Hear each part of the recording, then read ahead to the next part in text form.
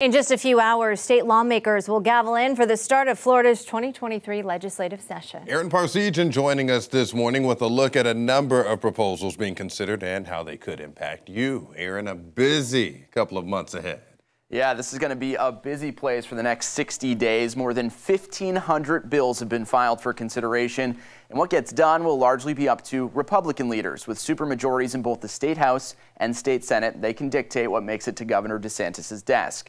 Now, we know some of what they want to get done at his urging, things like passing permitless carry, loosening requirements for imposing the death penalty, and also targeting illegal immigration. There are also a number of measures targeting education, an area the governor has made a focus in recent years and in speaking events across the nation ahead of a potential presidential run. Bills have been filed that would expand the controversial Parental Rights in Education Act to ban teaching about sexual orientation and gender identity through middle school. Another would put more money towards the state school voucher program and overhaul higher education, eliminating college majors in gender studies and cutting diversity, equity, and inclusion programs. It's important that your tax dollars are funding institutions that you can be proud of. Our institutions will be graduating students, I think, with degrees that are going to be meaningful.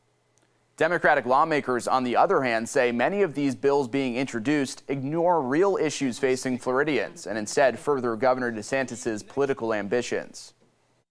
Just taking Florida in absolutely the wrong direction, in a very intolerant and frankly hateful direction. And we'll be following a number of these proposals as they move through the legislature over the next 60 days, as well as their impacts right here on Brightside and online at 10tampabay.com. Also today, Governor DeSantis will deliver his State of the State address, which will likely garner national attention as he highlights what he considers Florida wins and what he also wants to come out of the next 60 days. In studio, Aaron Parseghian, 10 Tampa Bay.